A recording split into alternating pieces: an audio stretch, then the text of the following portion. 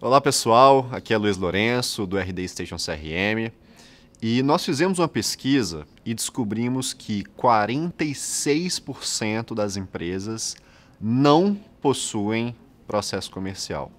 Olha só, se você é uma dessas empresas, pode ser que você esteja perdendo bastante dinheiro por conta disso.